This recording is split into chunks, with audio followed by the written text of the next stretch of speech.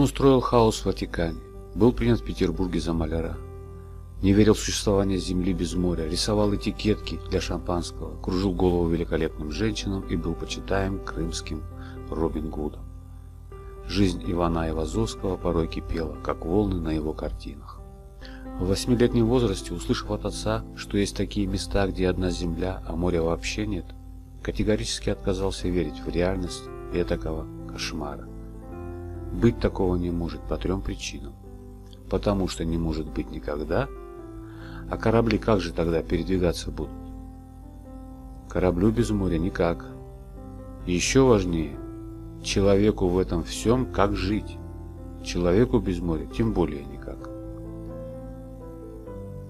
Когда Аванес Гайвазовский вырос и стал именоваться Иваном Айвазовским, он побывал и сам в тех краях, где сплошь земля, а моря нет.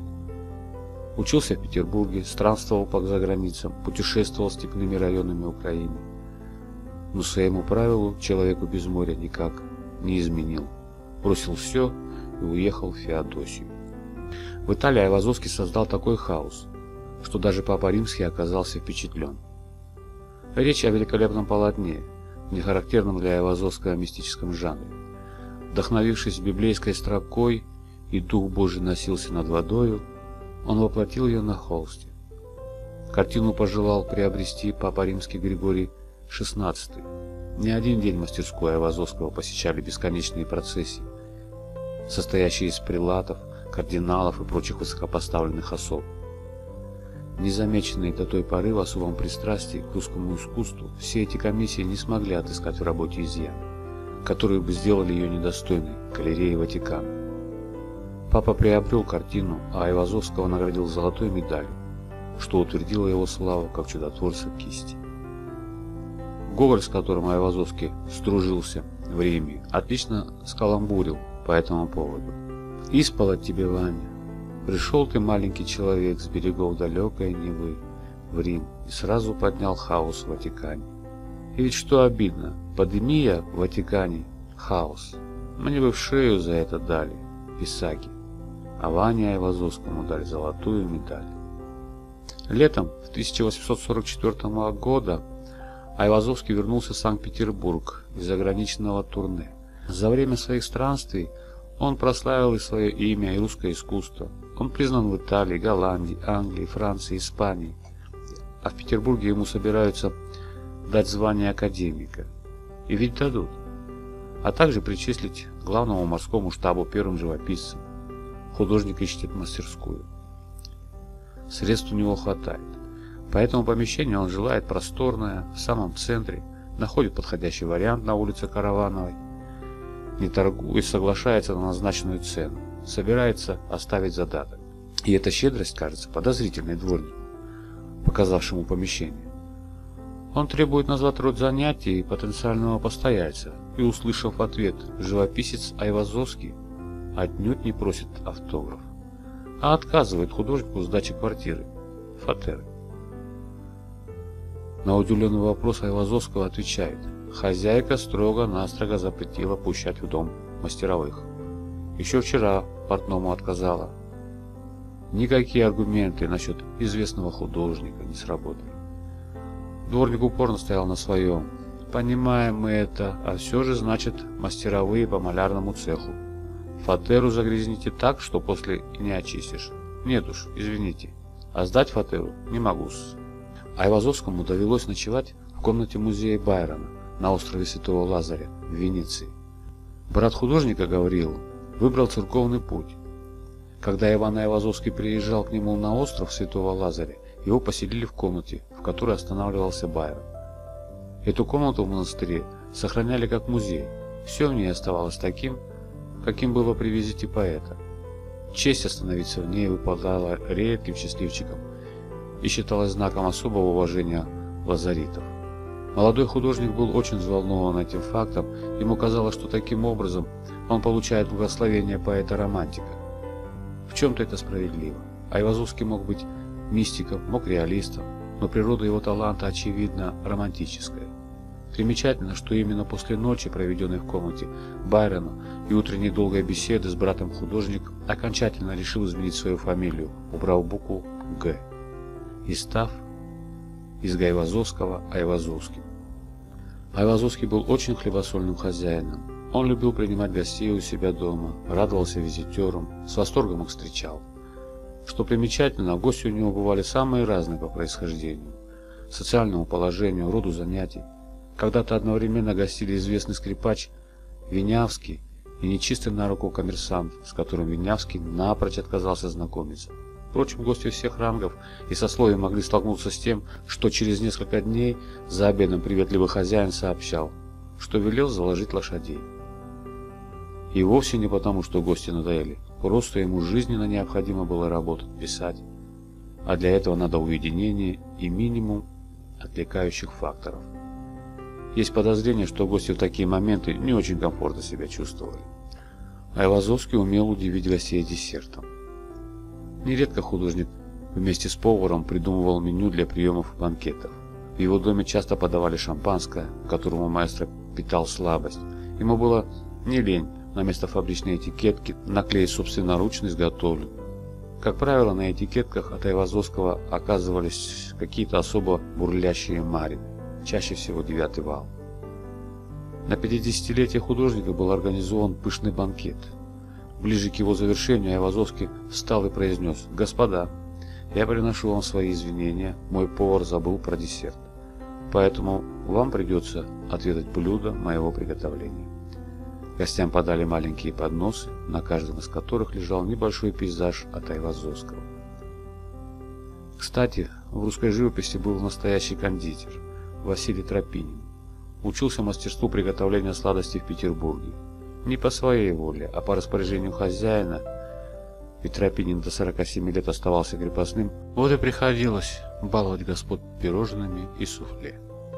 Айвазовский первым обратил пристальное исследовательское внимание на холмы в окрестностях Феодосии и Керчи. Ему показалось, что у них явно искусственное происхождение. На собственные средства он организовал раскопки, а после выстроил здание археологического музея. В ходе раскопок были обнаружены интересные находки. В частности, в одном из имений Айвазовского деревни Шейх-Мамай найдены останки, которые можно было счесть местом захоронения Мамая. Впрочем, окончательно не было доказано, что могила Мамая находится именно в этом месте. И сенсации, сообщающие, что вот теперь-то она найдена по-настоящему, появляются и поныне. Тем не менее, на месте возможной могилы ордынского темника Айвазовский соорудил беседку, чтобы в ней размышлять о бренности человеческой жизни. Подтверждая эту бренность, в 1917 году имение вместе с беседкой сгорело. Современные исследования показали, что поселение Шейх-Мамай входило в состав античной хоры Феодосии 60-х годов 3 века до нашей эры. Сейчас это село называется Айвазовское.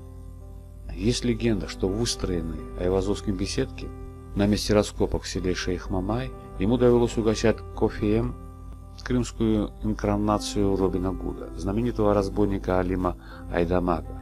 В песнях и сказаниях Айдамаку приписывают подвиги, аналогичные деяниям героя английских баллад. У богатых отнять, бедным раздать. По некоторым версиям не обошлось без женщин. Якобы Батрак Алим засматривался на хозяйскую дочку, за что и пострадал. Если верить легендам, разбойник посетил художника, любовался его картинами, имел приятную беседу, в том числе узнал о скорой женитьбе Айвазовского на молодой Ане Саркизовой. Настал день свадьбы. Праздничный кортеж остановила шайка разбойников. Гости переполошились. Но предводитель разбойников спрыгнул с лошади, спустился на колено перед невестой и вручил ей роскошную восточную шаль. Некоторые источники утверждают, что эта история имела место во время женитьбы Айвазовского на Юлии Гревс. В пользу такой версии свидетельствуют легенды, согласно которым в 1849 году Алимов был пойман, получил 6 тысяч палок, после чего его сослали в Сибирь. Так что во время женитьбы на Анне в 1882 году художник не мог с ним встречаться.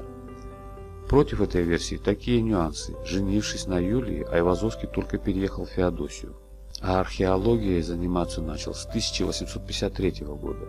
И беседка, в которой они с Салимом якобы пили кофе, к женитьбе на Юлии Гресс еще не построена. Но главное даже не это. Крымский Робин Гуд явно таким элегантным образом почтил не только художественные таланты но и грандиозные заслуги отца города, которых к женитьбе на Ане накопилось куда больше. На веку Айвазовского сменилось пять императоров. Иногда говорят, что он со всеми был в добрых отношениях, что не совсем справедливо. С Александром I он не успел побывать ни в каких отношениях, а с остальными действительно находился в достаточно хороших. Велика вероятность, что это было значительно проще делать именно из Феодосии, а не оставаясь в Петербурге. Монархи нередко ревнивы, а Айвазовский Феодосий устроил фактически страну Айвазовского. К счастью, он был не обделен и светским тактом, что позволило не противопоставлять себя императорам, а демонстрировать, что все, что делается, делается во благо империи. Собственно, это так и было. Кстати, на средства, собранные Айвазовским, в Феодосии был установлен монумент Александру Третьему. Таким образом, художник выразил благодарность за согласие императора строить в Феодосии торговый порт, что стало серьезным экономическим рывком для города. Неизвестно, как бы складывались отношения с царствующими особами, не покиня Айвазовский Петербург. Ведь, к примеру, Николай I в свое время был близок к тому, чтобы совсем юного художника отправить в опалу. Юный Айвазовский помогал приближенному ко двору французскому маринисту Таннеру. Француз сразу оценил талант помощника и использовал его более чем активно. Когда же на выставке оказались работы Айвазовского, и их оценили значительно выше, чем манерные марины Таннера, тот взбеленился и, используя близость к императору, оклеветал молодого Айвазовского. На этом карьера лучшего российского мариниста могла и закончиться. Но протекции прославленных художников того времени и главные учителя рисования у царских дочерей профессора Александра Зауэрвейда помогли смягчить гнев Николая I. Айвазовский же убедился в справедливости строк Грибоедова. «Минуй нас пуще всех печалей и барский гнев, и барская любовь». Все женщины Айвазовского, о которых известно общественности чем-то необычный. Первая жена, гувернантка Юлия Гресс. Сам Айвазовский к тому времени был одним из самых завидных женихов Санкт-Петербурга. Вторая жена, Анна Саркизова, младше его почти на 40 лет. Но была еще одна женщина, которая тоже достойна упоминания. Балерина Мария Тальони, старшая Айвазовского на 13 лет. История их отношений, по сути, зиждется на легендах, но до чего красивые эти легенды. Мария Тальони помогла подняться Айвазовскому, когда задетый ее экипажем он упал на дороге. Во вторую встречу он получил билет на ее представление.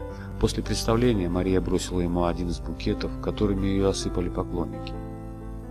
Когда он приехал в Италию, две картины на его выставке купила Мария и оставила билет на свое представление. Наконец, личная встреча, долгая прогулка, завершившаяся дома у Марии, и много счастья, любви, живописи, балета. Он мечтал быть всегда рядом, предлагал Марии руку и сердце, и получил отказ. Она не хотела ни для него стать со временем обузой, ни в своем сердце отдать кому-то такое же место, какое там занимал балет.